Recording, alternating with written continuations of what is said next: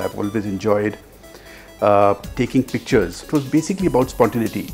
So every time I'd been traveling, I've been using my camera for a long time, for many years now. And that is where I started taking pictures of people on the street.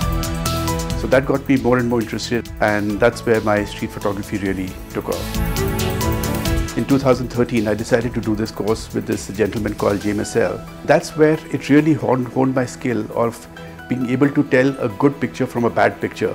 The pictures I took at that point of time during the course in New York versus the pictures that I'm taking now and what I'm seeing through my eyes now is completely different. One thing that he taught us, he said, you know, you have to always be ready with your camera.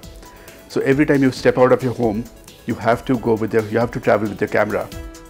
When I'm traveling out, even if it's a business trip, I have my camera with me at all times. Every time there's a break, I go off early morning to shoot, I go late evening to shoot, even if it's just for a brief lunch or something like that, we walk into a restaurant cafe, I'm taking pictures.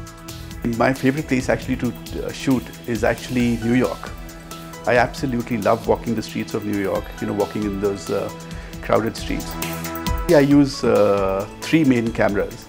So when I'm doing the street photography, that point of time I'm using a Leica M240 which is actually a very uh, it's a very compact camera but it's a very very effective camera and it's a manual focus. I use a Nikon D4 when I'm doing concerts or uh, uh, functions like that and I use a DF when I'm doing more travel where I need the autofocus function and I can't do with the manual focus. If I'm going for concert then these cameras don't work then I need a professional full-on professional cameras Nikon D4 and a Nikon uh, DF. There is a new camera which I know that's coming out by Leica which is going to be later this year. The problems that this Leica camera has, I think those are going to be eliminated with the new camera that's coming out. So I'm waiting for that one.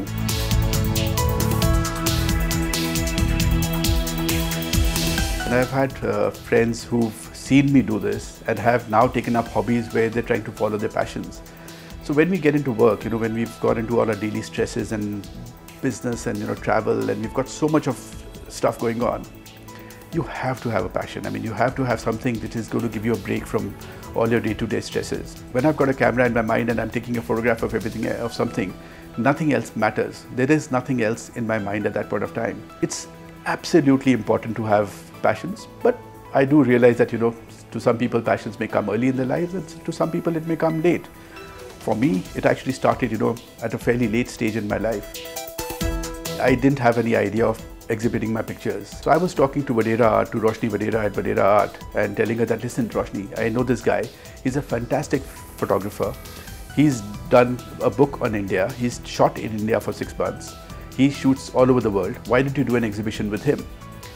So she said, okay, on one condition that I do an exhibition, you are part of that exhibition as well. I said, look, I'm not ready for it. And she says, no, absolutely you are. I've seen your works. I would want you to do a counter this thing. So Craig shows his work of India seen by American in more black and white.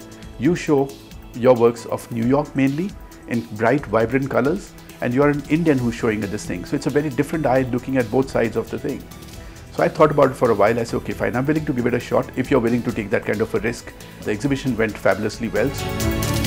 I should be able to do something in the near future, but I don't have a deadline yet. I don't have a date yet. I don't have a theme yet.